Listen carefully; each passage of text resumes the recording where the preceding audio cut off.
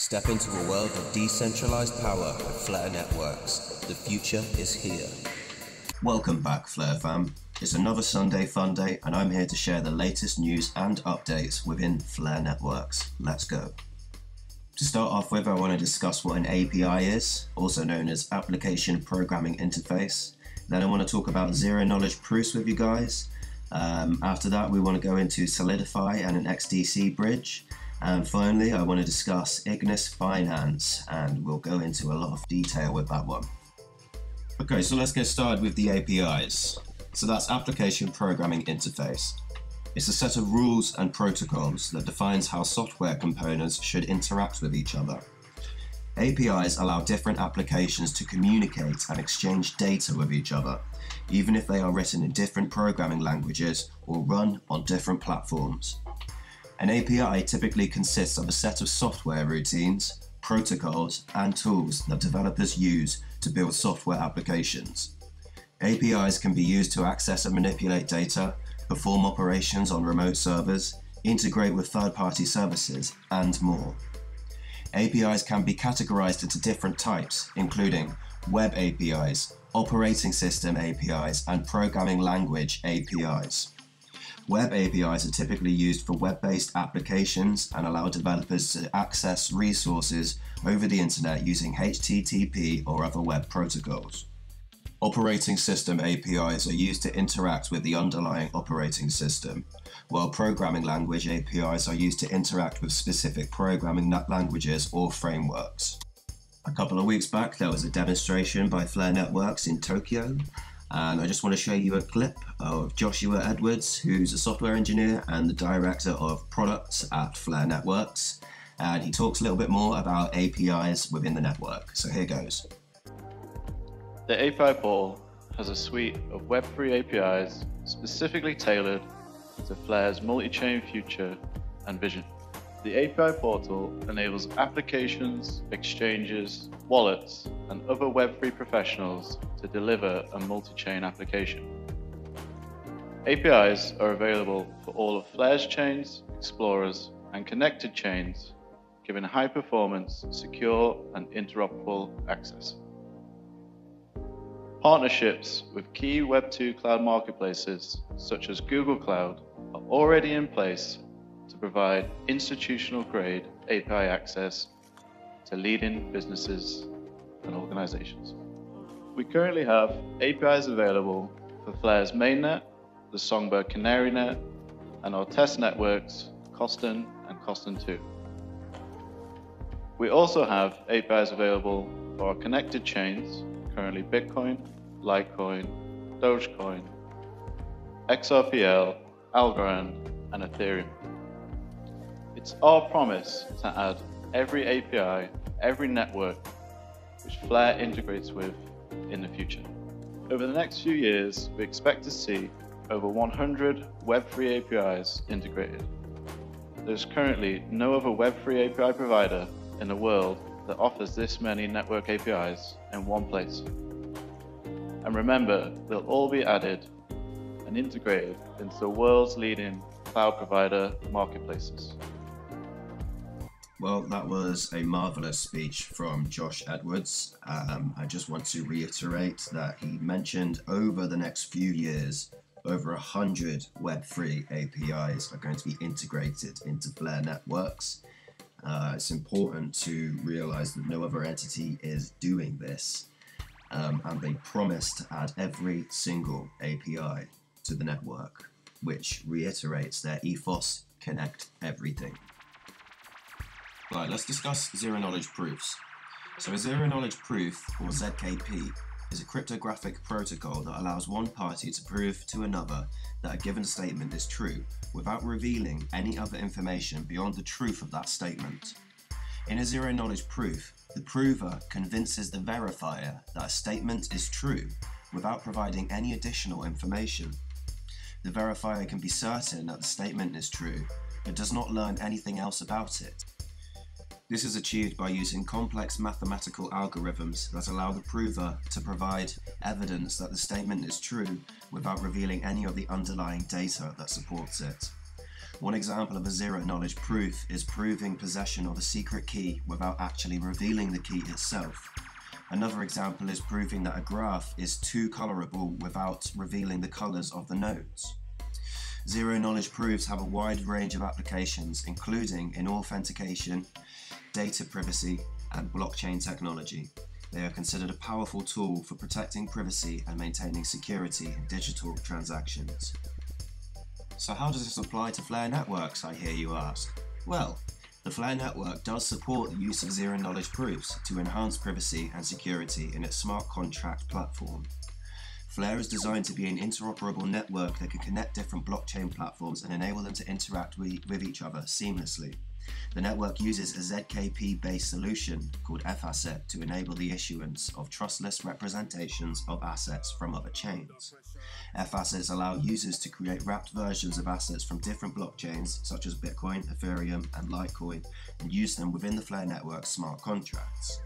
ZKPs are used in FAssets to ensure that the wrapped assets are fully backed by the original assets without revealing any sensitive information about the assets or their owners.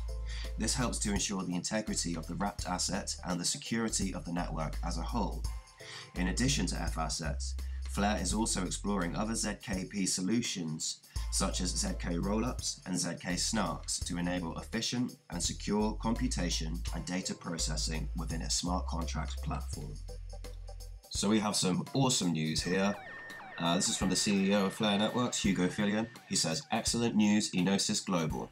Bridging can involve substantial risk. Great to see testing happen on Coston first.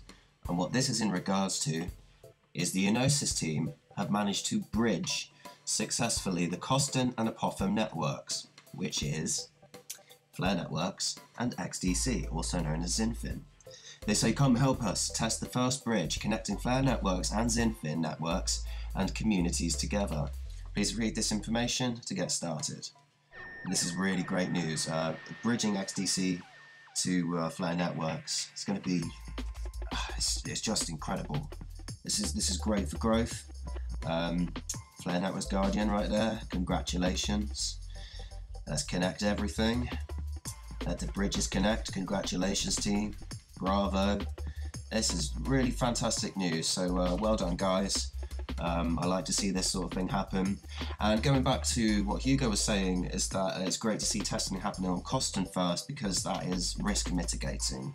Uh, they, it's better to do testing on the testnet before the testnet, if that makes sense.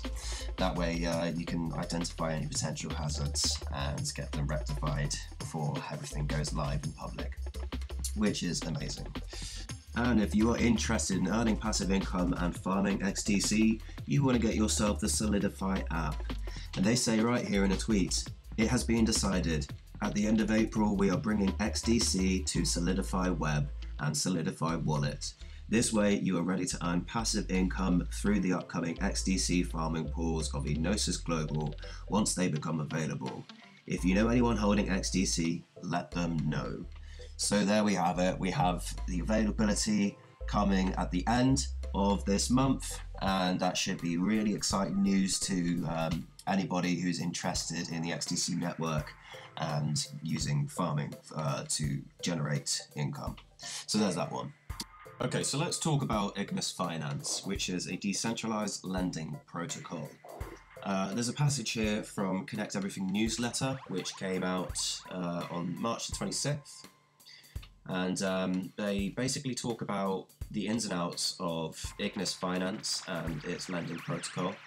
They also talk about um, what is possible to do, and they talk about uh, current issues. So uh, let's kick off with Ignis Finance, a lending protocol being built on Flare. Lending is effectively the business model of a traditional bank. One, depositors put their value in their accounts. Two, the bankers use the value to issue loans. Three, borrowers take out these loans and pay interest. Four, depositors are rewarded vast sums for allowing their funds to be loaned out. Um, actually, the depositors get shafted while the bankers hoard the rewards. That's why a trustless lending protocol like Ignis Finance is so valuable. The fat cat middlemen bankers with a capital W are taken out of the picture, W for Wellington Boots. The Ignis Finance smart contract manages the delicate balance of interest rate calculations and any other decisions the men in suits would have would have made. Meaning all the rewards can be distributed to the community who actually deposit value into the system. Looking to the future. Being built on Flare means Ignis Finance can be a whole of market. When Flare finally connects everything, users will connect their wallets to Ignis and start lending or borrowing. Imagine you are in a sideways market and holding Bitcoin, XRP, and Doge. You know that your big payday is coming in the next bull run. It's a matter of when, not if. You see folk earning daily rewards on F projects or on Solana. It seems everyone is earning in this sideways market. The last thing you want to do is swap their coins and miss the gains from the coins you are actually passionate about. With Ignis on Flare, you will be able to use your diverse wallet and build your ideal DeFi portfolio. But what if Bitcoin crashes and I lose all from a loan liquidation? We hear you cry.